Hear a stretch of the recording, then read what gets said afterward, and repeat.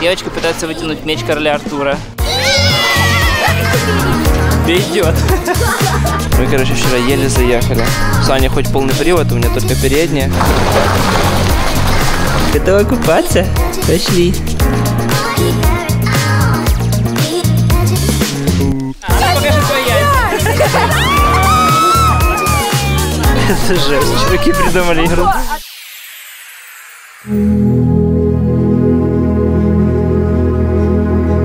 Дня пролетели, и пришло время ехать дальше. Жаль было уезжать из Яблуницы от этого вида и веселой компании, но у нас еще половина в путешествия впереди. Я очень хотела заехать в Ужгород, потому что никогда там не была, и город мне представлялся очень романтичным. В чем, кстати, я убедилась.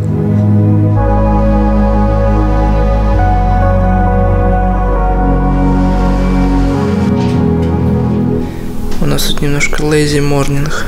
Доброе утро, Сонька. Что значит Сонька? 9 часов. Я имею право.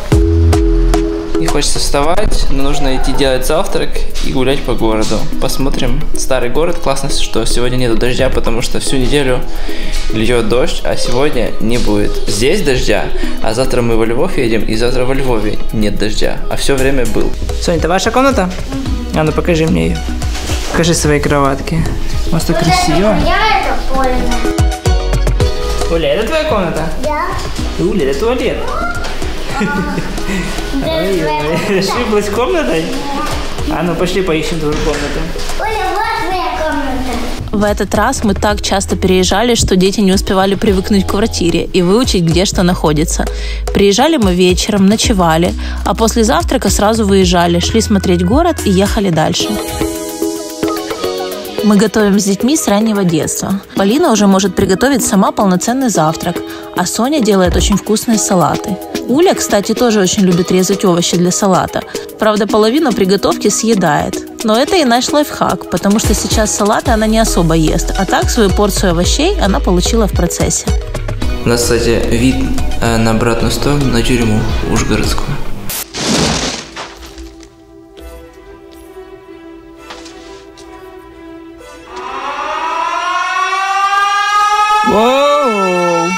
Похоже, нам пора валить.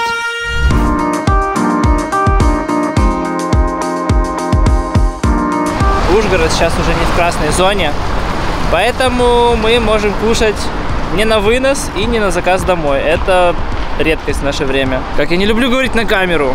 Есть какие-то лайфхаки, как научиться говорить на камеру и любить это? Говорить красиво и отчетливо. И каждое С, Ж, С было слышно, как молоко матери течет.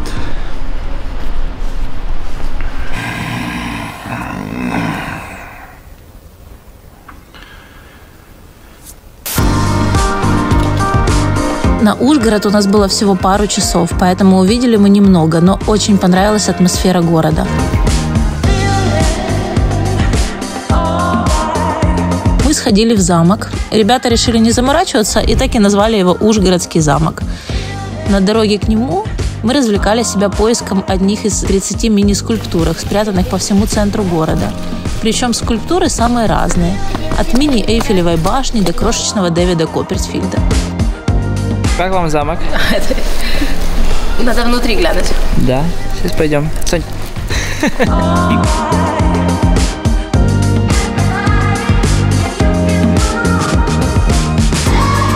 Сам замок сегодня представляет себя исторический и краеведческий музей. Мы не часто ходим по музеям со всеми детьми, думаю, вы догадываетесь почему. Но все прошло достаточно гладко, все экспонаты остались целы и невредимы. Соня была гидом и показывала Уле самые интересные места в музее.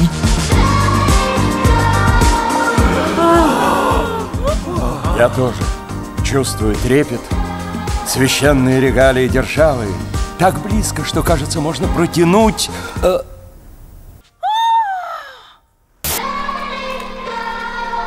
Конечно, здесь очень красивые улочки, нам очень здесь нравится.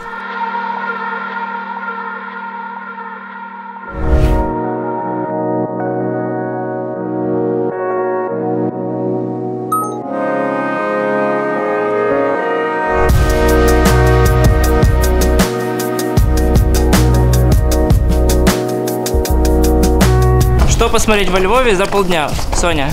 Не знаю. Я тоже не знаю.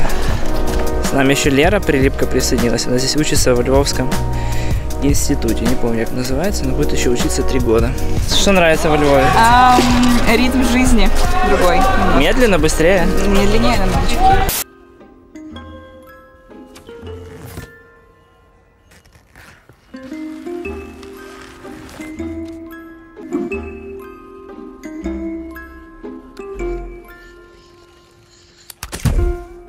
А люди вообще в целом сильно отличаются?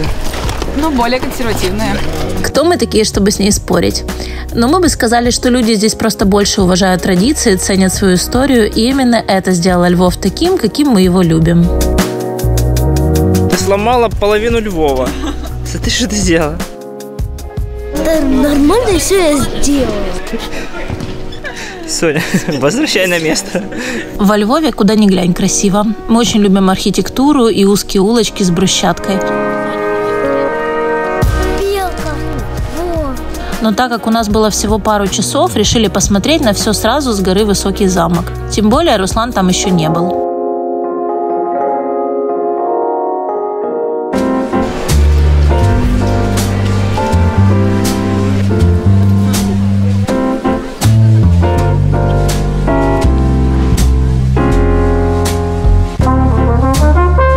Готова спать?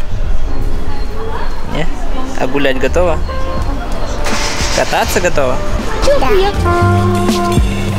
Мы были во Львове в воскресенье. И так попало, что это был последний день красной зоны.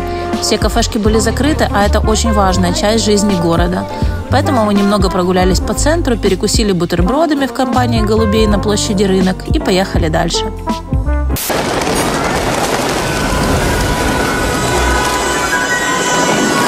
Были во Львове 4 года назад, но я что-то забыл, что он настолько крутой, настолько передается атмосфера и дух вот этого прошлого, всякие лепнина, здания, вот архитектура. Это, конечно, потрясающе. Но, в общем, город шикарный. Мы вообще хотим здесь пожить какое-то время. Было бы классно. Очень красивый город.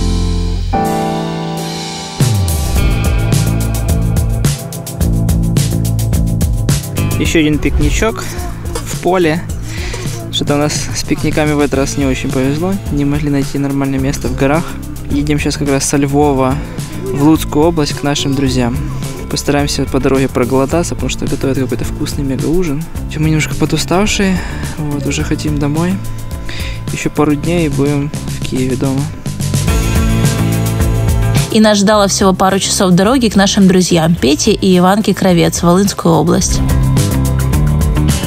Раньше они жили под Киевом, но пару лет назад решили переехать в село. Нам было очень интересно посмотреть, каково это сменить большой город на сельскую жизнь.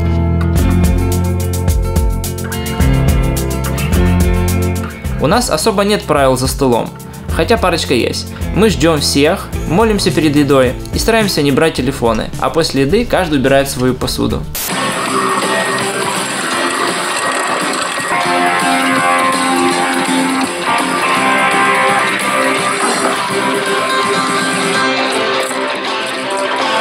Мы замечательно провели там время и теперь очень ждем ребят к нам в гости. Кравцы, приезжайте побыстрей.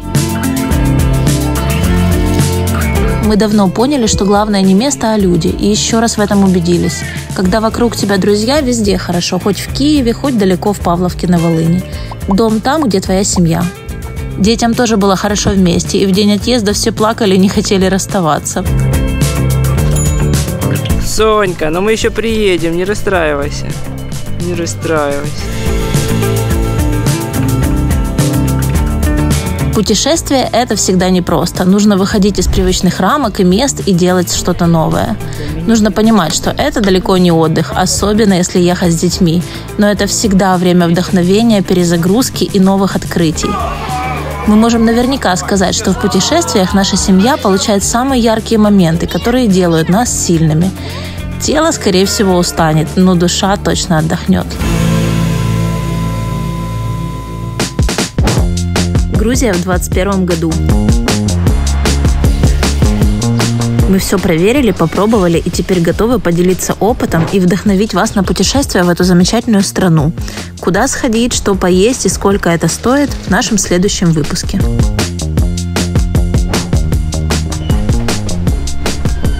Тут такая лестничка непростая. Здесь 800 метров высота, и сквозь нас только что пролетело облако. Скажи, это было круто?